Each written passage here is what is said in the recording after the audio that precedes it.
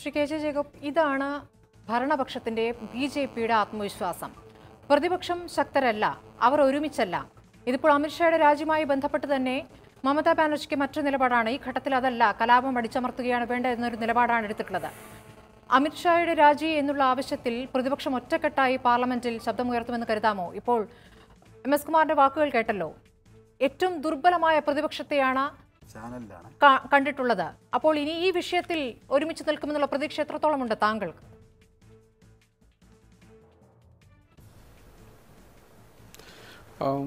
നമ്മൾ ഇങ്ങനത്തെ ഒരു പ്രതിപക്ഷത്തെയും കണ്ടിട്ടില്ല ഇങ്ങനത്തെ ഒരു ഭരണപക്ഷത്തെയും കണ്ടിട്ടില്ല എന്നുള്ളതാണ് അതാണ് ഞാനിപ്പോൾ കാണുന്നത്.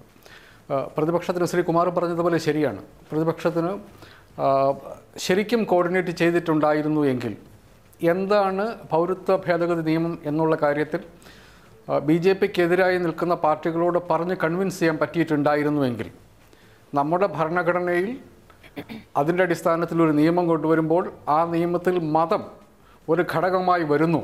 അത് ദൂരവ്യാപകമായി നമ്മുടെ ഭരണഘടന തന്നെ അട്ടിമറിക്കുന്നതിനൊരു തുടക്കമാണ് എന്നുള്ള കാര്യം കൺവിൻസ് ചെയ്യാൻ പറ്റിയിട്ടുണ്ടായിരുന്നെങ്കിൽ അദ്ദേഹം പറഞ്ഞതുപോലെ ഈ ബില്ല് നിയമമാകില്ല. കാരണം ബി ജെ പിക്കോ എൻ ഡി എക്കോ ലോക്സഭ രാജ്യസഭയിൽ ഭൂരിപക്ഷമില്ല. പക്ഷേ അപ്പോൾ നമ്മൾ കാണേണ്ടത് എങ്ങനെയാണ് സർക്കാർ ഈ പ്രതിപക്ഷ കക്ഷികളെ നേരിടുന്നത് എന്നുള്ളതാണ് നമ്മൾ കാണുന്നത്. പി ചിദംബരത്തെ ഏകദേശം നൂറോളം ദിവസം ജയിലിലിട്ടു. എന്താണ് സംഭവിച്ചതെന്നിട്ട് എന്തെങ്കിലും തെളിവ് അദ്ദേഹത്തിനെതിരെ കൊണ്ടുവരാൻ സാധിച്ചിട്ടുണ്ടോ? ഇന്ത്യയിൽ പ്രതിപക്ഷത്ത് നിൽക്കുന്ന എല്ലാ രാഷ്ട്രീയ കക്ഷികളും ഇന്ന് ഏതെങ്കിലും ഒരു തരത്തിലുള്ള സർക്കാർ ഏജൻസികളുടെ നോട്ടപ്പുള്ളിയായിട്ടിരിക്കുകയാണ്. ശ്രീ കുമാറിന്റെ തന്നെ സഹപ്രവർത്തകനായ ഒരാൾ പച്ചക്കല്ലേ കേരളത്തിൽ നാട്ടുകാരോട് പറഞ്ഞത് ഇൻകം ടാക്സ് ഒക്കെ കൃത്യമായിട്ട് അടയ്ക്കുന്നുണ്ടോ എന്ന് നോക്കണം എന്നുള്ളത് ഇത് ഇങ്ങ് ഇത്രയധികമായി അധികാര ദുർവിനിയോഗം നമ്മൾ എല്ലാ സമയത്തും കണ്ടിട്ടുണ്ട്. പക്ഷേ ഇത്ര പച്ചയ്ക്ക് കാര്യസാധ്യത്തിന് വേണ്ടി സർക്കാരിന്റെ അധികാരത്തെ ഏജൻസികളെ ദുരുപയോഗിക്കുന്ന ഒരു സർക്കാർ മറ്റുണ്ടായിട്ടില്ല. അപ്പം നിങ്ങൾ വളരെ ന്യായമായിട്ട് ചോദിക്കും ഭയപ്പെടാനുണ്ടായിട്ടില്ല അതാണ് സത്യം. പ്രതിപക്ഷത്തിന് ഒരു ഒരു കൊഹിയറന്റ് ആയിട്ട് ഒരു ഒരു കാര്യം കൺവിൻസ് കൂടെ നിൽക്കുന്ന ആൾക്കാരെ തന്നെ കൺവിൻസ് ചെയ്യാനോ ഭരണപക്ഷത്തെ ആക്രമിക്കാനോ പറ്റുന്ന ഒരവസ്ഥ ഇപ്പോൾ ഇല്ല. പ്രതിപക്ഷം സത്യത്തിൽ ആരാണ് പ്രതിപക്ഷത്തുള്ളത് നമ്മൾ ചോദിച്ചു പോകും. കോൺഗ്രസിന്റെ പ്രസിഡന്റായിട്ടുള്ള കോൺഗ്രസിന്റെ ഒരു ഇന്ററിം പ്രസിഡന്റാണുള്ളത് കോൺഗ്രസിന്റെ വെബ്സൈറ്റ് എടുത്ത് വെച്ച് നോക്കി കഴിഞ്ഞിട്ടുണ്ടെങ്കിൽ അവിടെ ആദ്യത്തെ മൂന്ന് ആൾക്കാർ ശ്രീ ശ്രീമതി സോണിയാഗാന്ധി ഡോക്ടർ മൻമോഹൻ സിംഗ് പിന്നെ രാഹുൽ ഗാന്ധി. ഈ മൂന്ന് മനുഷ്യരെ നമ്മൾ ആക്റ്റീവ് പൊളിറ്റീഷ്യന്മാരല്ല പ്രതിപക്ഷ നേതാക്കന്മാർ ഇന്ന് എന്താണ് പറയുന്നത് നാളെ എന്താണ് പറയുന്നത് നമുക്കറിയില്ല. പക്ഷേ കോൺഗ്രസ് അധ്യക്ഷ സോണിയാഗാന്ധി ഇടക്കാല ഇടക്കാല പ്രസിഡന്റാണ്. പക്ഷേ സോണിയാഗാന്ധി കഴിഞ്ഞ ദിവസം വാർത്താ സമ്മേളനത്തിൽ നടത്തി വാർത്താ സമ്മേളനം നടത്തിക്കൊണ്ട് പറഞ്ഞ കാര്യങ്ങളിൽ ആത്മാർത്ഥത കുറവ് താങ്കൾക്ക് കാണാനായോ? അതിനുശേഷം രാഷ്ട്രപതിയെ പോയി കാണുകയും ചെയ്തിരിക്കുന്നു കോൺഗ്രസ് സംഘം. അതിൽ മറ്റു പ്രതിപക്ഷ പാർട്ടികളെ കൂടി ഒരുമിപ്പിക്കാൻ കോൺഗ്രസിനായിട്ടില്ല എന്നിടത്ത് വീഴ്ചയുണ്ടാകാം. പക്ഷേ ഈ വിഷയത്തിൽ അടിയന്തരമായുള്ള പ്രതികരണങ്ങൾ നിരന്തരമുള്ള പ്രതികരണങ്ങൾ അത് കോൺഗ്രസിന്റെ ഭാഗത്തുനിന്ന് ഉണ്ടായിട്ടുണ്ട് ഈ കലാപവുമായി ബന്ധപ്പെട്ട്. ഓരോ ഘട്ടത്തിലും കോൺഗ്രസ് നേതാക്കൾ അതാത് വിഷയങ്ങളിൽ പ്രതികരിച്ചിട്ടുണ്ട്. അത് ജഡ്ജിയെ മാറ്റിയ വിഷയത്തിലായാലും കലാപം സംഭവിക്കുന്ന ഘട്ടത്തിലായാലും അവിടെ അടിയന്തരമായി പോലീസ് എത്താത്ത സാഹചര്യത്തിലായാലും ഓരോ ഘട്ടത്തിലും കോൺഗ്രസിന്റെ പ്രതികരണം നമ്മൾ കണ്ടിട്ടുണ്ട്. ഇതിൽ ഏകോപനം ചുമതല കോൺഗ്രസിനാണ് എന്ന് നമ്മൾ ഇപ്പോഴും കരുതുന്നത് എന്തുകൊണ്ടാണ്? കോൺഗ്രസ് അത്രയ്ക്ക് ശക്തമാണോ?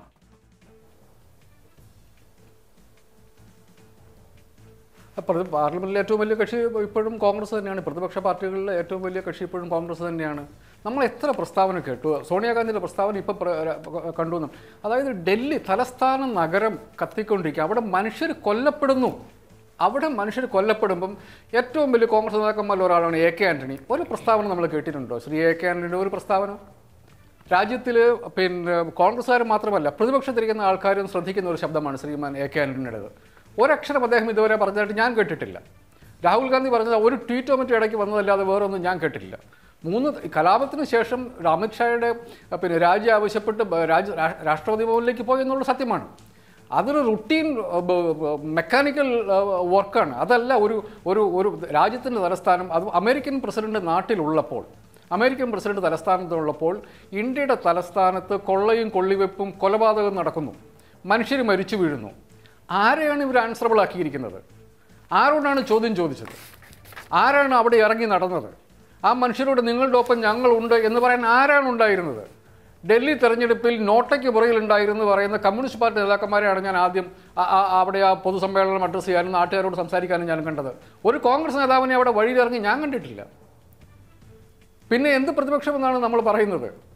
അവർ എന്ത് എത്ര ആത്മാർത്ഥതയോടുകൂടിയാണ് അവർ ഈ മനുഷ്യരുടെ പ്രശ്നങ്ങളിൽ അവർ ഇടപെടുന്നത്? അതിലും ഇത്ര ഇത്രയൊക്കെ ചെയ്തിട്ടും അതിൽ ശ്രീ അമിത്ഷാ നിങ്ങൾ ഒരു പരാജയമാണ്. നിങ്ങളുടെ ഉത്തരവാദിത്തമാണ് ഡൽഹിയുടെ സുരക്ഷിതത്വം. നിങ്ങൾക്കത് എന്തുകൊണ്ട് ചെയ്യാൻ സാധിച്ചില്ല? എന്ന് ഉറക്കെ ചോദിക്കാൻ ഇന്ന് വരെ പ്രതിപക്ഷത്തിന് പറ്റിയിട്ടില്ല എന്നുള്ളത് പ്രതിപക്ഷത്തിന്റെ പരാജയം തന്നെയാണ് അമിത്ഷായുടെയും നരേന്ദ്രമോദിയുടെയും വലിയ വിജയം കൂടിയാണ്. ഇത് മറുപടി അപ്പോഴും അദ്ദേഹം ഇല്ലാത്തതുകൊണ്ട് ഞാൻ ചോദിക്കുകയാണ്. അമിത്ഷായുടെ രാജി തന്നെയാണ് പ്രധാനമായും സോണിയാഗാന്ധി ഉന്നയിച്ചിരുന്നത്. ആ ആവശ്യം ഉന്നയിച്ചാണ് രാഷ്ട്രപതിയെ കാണുകയും ചെയ്തിരിക്കുന്നത്. അത് എങ്ങനെ ചോദിച്ചിരിക്കുന്നു ആരൊക്കെ ചേർന്ന് ചോദിച്ചിരിക്കുന്നു എന്നുള്ള ഒരു വിഷയം നിൽക്കുന്നു. അപ്പോഴും കോൺഗ്രസ് ആ ചോദ്യം ചോദിച്ചിട്ടുണ്ട് ആ ആവശ്യം ഉന്നയിച്ചിട്ടുണ്ട്. പാർലമെന്റിലും അതാണ് പറയുകയെന്ന് പറയുന്നു.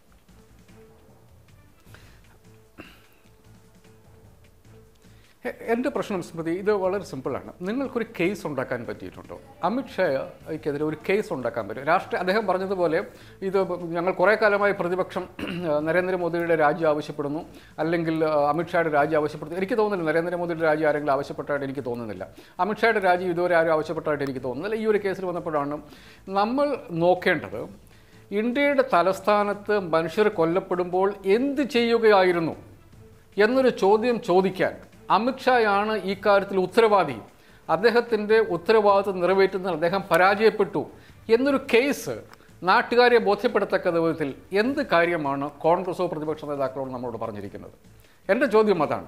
അവരുടെ പണി തന്നെ അതല്ലേ?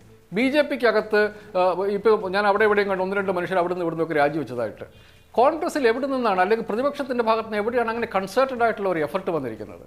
ഒരു ഞാൻ പറയുന്ന ആവശ്യം അമിത്ഷാ രാജിവെക്കണം എന്ന് ആർക്കും ആവശ്യപ്പെടാം. ഒരു കേസ് ഒരു ക്രെഡിബിൾ ആയിട്ടുള്ള ഒരു കേസ് പ്രൊഡ്യൂസ് ചെയ്യാൻ അത് ഉണ്ടാക്കാൻ വേണ്ടി പ്രതിപക്ഷത്തിന് ഇന്ന് വരെ പറ്റിയിട്ടില്ല. അമിത്ഷായുടെ പിന്നെ വീഴ്ചകൾ എണ്ണി എണ്ണി പറഞ്ഞ് തലസ്ഥാനത്ത് പത്രസമ്മേളനം നടത്താൻ ഇവരെ കൊണ്ട് പറ്റിയിട്ടില്ല.